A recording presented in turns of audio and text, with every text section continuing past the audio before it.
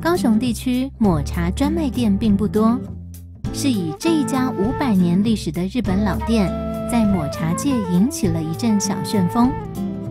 超大型的日式灯笼写着“上林茶屋”，就挂在店门口前的正中央。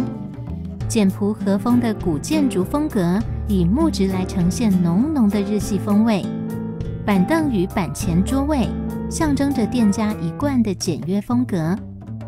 听说此道美味的创立者，便是曾经服侍过将军的茶师，因此这里其中一道搭配红豆与白玉的双麒麟，就唤作将军的眼泪。似乎在抹茶的浓郁香味中，可以寻得霸主背后心酸的情怀。